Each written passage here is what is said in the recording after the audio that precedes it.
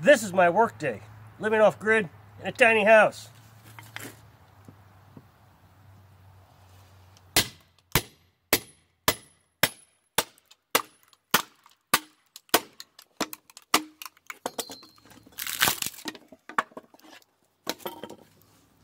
Workday done.